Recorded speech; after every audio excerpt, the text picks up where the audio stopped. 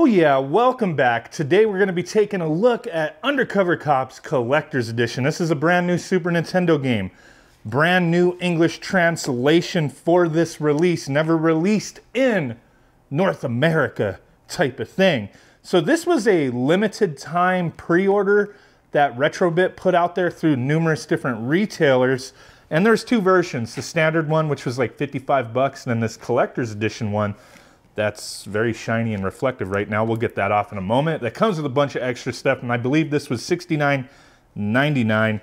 They sent this out to me for purpose of uh, review, I guess, take a look at it type of thing, as I did cover it in the past when they put the pre-order out there. And if you missed out on it and you like what you see, hope is not all lost, as a lot of times these do make their way like additional stock of it make their way to your local retailers, places that sell retro games.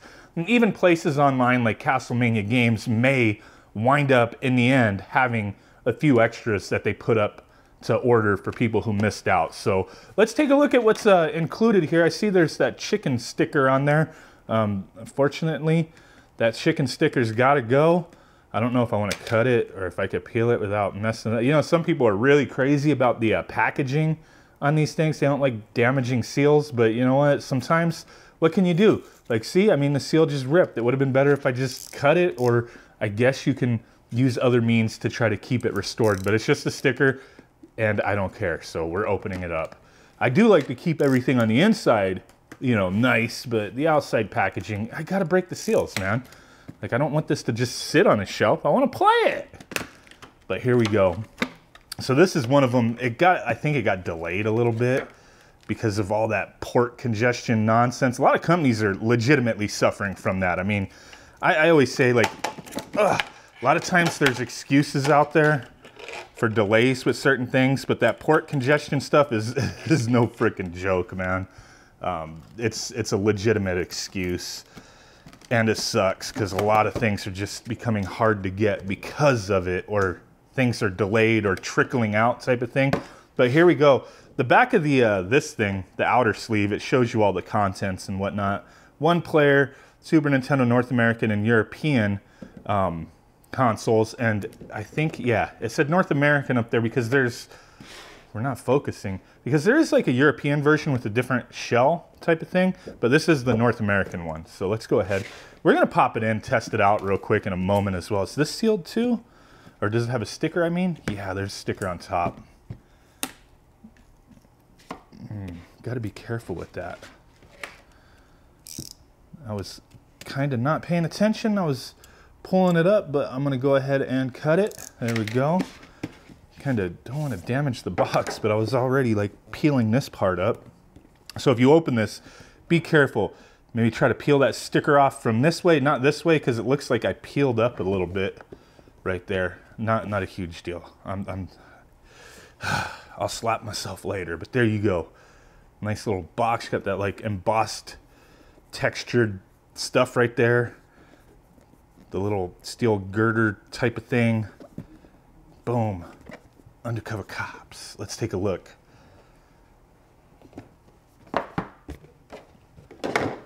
So at least this video is kind of like, hey, you know, if you're somebody who bought this, like, pay attention how you open it. Don't make the same mistakes as me type of thing, right? We get the uh, Rosa Felmond uh, figure. This was something I was really curious to see the quality because I remember talking to Retrobit a long while ago and they were like, this was one of the things they wanted to make sure was like just straight because with it having like kind of like with it having such a big ass head, like you want to make sure it's stable and all that kind of stuff. Um, some people will just leave something like this in the box and I understand that. Uh, I kind of want to see what it looks like standing up, if it is like too top heavy to, to fall over. But I remember they did say something to me about like, yeah, like the, the figure and working on that, you know, that was like extreme importance to make sure everything was, was good with the quality behind it. And, you know, you don't want it to tip over and then the head breaks off type of thing. So let's let's take a look at that. It's kind of got a little a little heft to it for sure. Kind of looks like Sonic the Hedgehog side profile. Put that up. Let me see. Oh my god, I can't get it. I can't get it in view, dude. There you go. She's she's well balanced. Like she doesn't seem like she's gonna tip over. I mean, this kind of like you know, wobbly, but that's because it's on a box. But yeah, I mean, when I put it on my table, there we go. She's she's looking good. There we go. Focus on her big ass head. Little collectible figure thing. Pretty cool. I think this one is one I will leave in the box though. Nice, nice packaging. Designed by Eric Scarecrow. There's his uh, socials if you want to check out his work. But yeah, partnered with him to get this going. Nice little figure if you're into these kind of things. What else is in here? We got the, uh, oh, was that the chicken keychain? There you go. Like acrylic. I think it's an acrylic keychain. Pretty cool. A little classified uh, thing. a lot of their releases come with stuff like this, uh, which some people really like. Having a certificate of authenticity is cool. I got what, 1569 limited production out of 3,000 of them. Undercover Cop stickers. Cool. And then the uh, little profile cards for the uh, three playable characters Matt Gables, Rosa Felmond, and Zan Takahara. There you go, looking all straight out of the, the, the 80s or 90s, ready to be some undercover cops. Has like an imprint. That is freaking funny, dude. So on this side, the the attention to detail and the quality on these little collectible items, like me personally, I think they're neat, but I don't I don't put a lot of value on like this kind of stuff. It's still neat though um, as far as a full package, but the little details, like, okay, there's a paper clip right here and it's like raised. And then on the back, it's like kind of like you could feel it still. That's, I mean, the little details are definitely pretty cool. So there's, there's all that that comes in the uh, confidential folder. And then the actual game. Oh, the game's sealed. It's not just like, oh man. Like I just like, like if, the, if you just got the standard edition, this packaging right here is pretty dope too you know, Super Nintendo sized box. Got the foiling on. You know how I'm, I get a hard on for the foiling. North America version. There we go. Published by Retrobit. That is freaking nice, man. These guys been doing a, a, a great job with the, these retro releases, putting out special stuff, you know, things that weren't originally available, new translations, all that kind of stuff. Like, I really want to leave the plastic on there, but you know, I already kind of didn't precisionally cut it to open the side, but screw it, here we go. Undercover cops. And then there I go bending the uh, flap. oh my God, I'm cringing, he, he bent the flap. okay, oh my God, that the booklet is nice and thick. Here's a little poster. One, one-sided or two-sided? I don't remember, it's two-sided. I didn't remember. I remember looking at all the press release stuff, but it's been a little while. So there's that cool little poster. It's on the other side. Oh, yeah. Oh, yeah. Japanese styling stuff. Cool. And then we get this fat ass manual. Is it in multiple languages? Yeah, it's in English and Japanese oh, the, they have the actual like style of the console there. Everything that you need to know. The moves, the food, like you can grab a, just straight up grab live food. Eat a, a pig that you find running around. You just eat them. A mouse, same thing, mm, yoinks.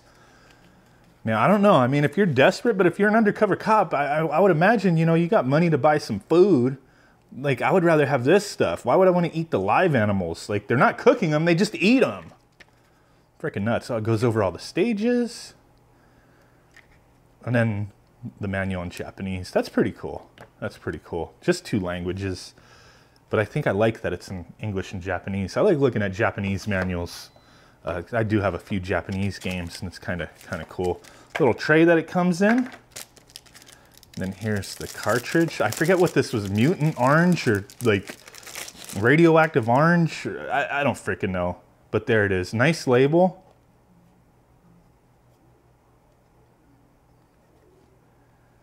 The shell feels nice and like, it's got like a heft to it. Doesn't feel like one of those cheap ass shells that are like really thin and are gonna crack. Like, you know, it doesn't have like, oh, the tabs where we, we didn't actually screw it together. Like we just cl clamped it together. Nice shell, nice shell. You can see the board in there. Retrobit, published by. Don't use any like benzene in this. Okay, so that's the full set. Let's go ahead and boot this up real quick. I've never played this with a um, arcade stick on the Super Nintendo, but here we go.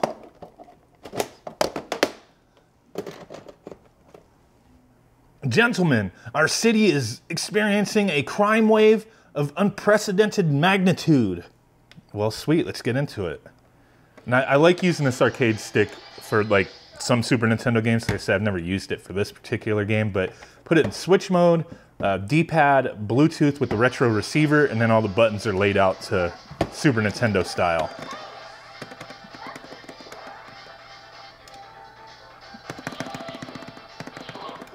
There we go.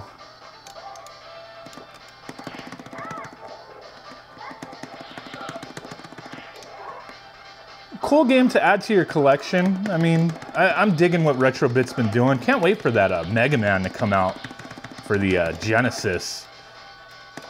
And then all the stuff they've been working on, that Alwa's uh, Awakening coming out for the NES and how they're testing out a digital version release with a little USB drive. I think it's pretty cool, man. I, I, you know, I got some, some, some respect for what these guys are doing, man.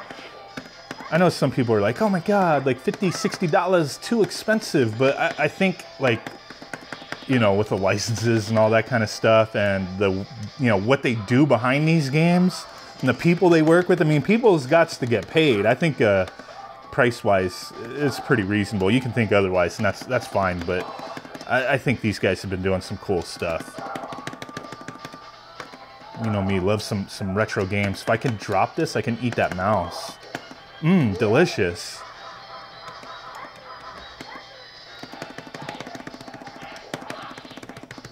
Uh. Bitch so there you go. I don't want to spoil too much of this game. It's a pretty cool game. Um, a lot of fun. I've beaten it a few times, but that's it. Just wanted to showcase this collector's edition unboxing, a little bit of the gameplay. Appreciate you guys. Give you a big ass blurry thumb butt like a Bigfoot. I'll catch you on the next one. Thank you. Bye.